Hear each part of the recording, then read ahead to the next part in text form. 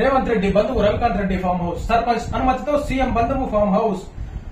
CM బంధువు రవికాంత్ రెడ్డి అయితేనేమి CM దగ్గరున్న సుట్టం అయితేనేమి కాంగ్రెస్ పార్టీలో ఉన్న లీడర్లు అయితేనేమి ప్రతి ఒక్కరు ఫామ్ హౌస్ కూడా కొట్టాలి. నిబంధనలకు విరుద్ధంగా ఉన్నటువంటి ఫామ్ హౌస్ అన్ని కూడా కొట్టాలి. ఈయన ఆ పార్టీ ఈ పార్టీ కాదు. సర్పంచ్ అనుమతితో ఫామ్ హౌస్ కట్టిండంటే అధికారులు పీక్ అవుతున్నారు ఆఫీసులకి? చేతులు లేని ఏమన్నా వీక్ వస్తున్నారు ఆఫీసులకి? ఎవరి జీతాలు తీసుకుంటారో? ఎవరికి పని చేస్తున్నారు? నాయకులది కింద పట్టుకొని చీపురు పట్టుకొని. సిగ్గు శరాలు ఉన్నాయి అబ్బాయి మీకు అధికారులు ఎందుకున్నారు మీరు? మీకు చదువు ఎందుకు చెప్పినారు? ఉన్న టీచర్లు కూడా సిగ్గుపడతారు మీకు చదువు చెప్పి. కాళ్ళు కడిగి ఒక గ్లాస్లో పట్టుకొని దాగు లీడర్ని. పీకలేకున్నారు అరవై మీరు? మీ వల్ల ఈనాడు అవినీతి అధికారుల వల్ల సిటీలలో చెరువులు చూద్దామంటే కరువైపోయినాయి.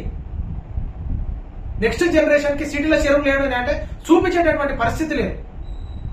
పీకొస్తున్నారు మీరు ఆఫీసులలో. సర్పంచ్ అనుమతులు ఇచ్చిన అధికారులు ఎందుకు పీకలేక వస్తున్నారు మరి? జీతాలు పుణ్యాన్ని తీసుకొని మూడు దుడుచుకొని పోతున్నారు వచ్చి. ఆఫీసులకు వచ్చి టైం పాస్ చేసుకుంటారు. రంగారెడ్డి జిల్లా గండిపేట మండలం మొట్టినాగలపల్లి గ్రామ పరిధిలో ఫామ్ హౌస్ ఇది. ఇది ముఖ్యమంత్రి రేవంత్ రెడ్డి సమీప బంధువు రవికాంత్ రెడ్డి పేరిట ఉంది.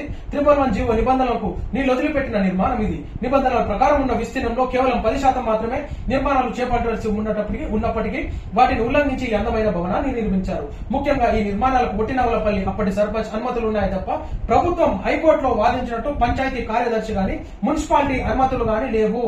మున్సిపాలిటీ అధికారులు ఏం చేస్తున్నారు?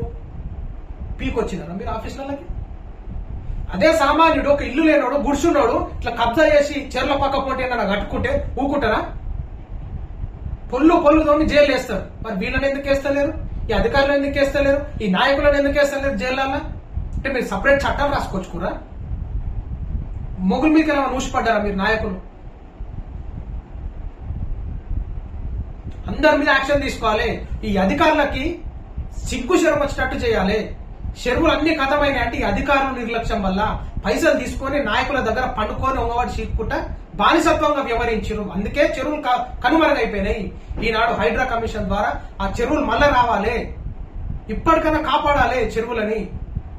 సర్వే రికార్డ్స్ చెక్ చేసి ఎక్కడెక్కడ చెరువులు ఉన్నాయి ఎక్కడెక్కడ ఎన్ని రికార్డ్స్ చెరువులు ఉన్నాయి ఆ టోటల్లీ రికవర్ చేసినటువంటి పరిస్థితి రావాలి కాలువలు సాఫ్ చేయాలి లింకు గొలుసుకట్టు చెరువులు ఏవైతే ఉంటాయో వాటిని కాపాడుకోవాలి.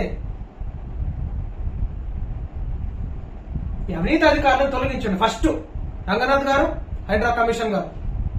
ఈనాడు హైడ్రా కమిషన్ చేపడుతున్నారు. చాలా గ్రాండ్ సక్సెస్ కావాలని కోరుకుంటున్నాం. మీరు కూడా మీకు ఎన్ని పార్టీల నుంచి బెదిరింపులు వచ్చినా నాయకుల నుంచి బెదిరింపులు వచ్చినా మీరు చేయాల్సిందే. చూస్తాం ఏ పాట అవుతుందో హైడ్రా కమిషన్ ఎంత ముందుకు పోతుందో చూస్తాం.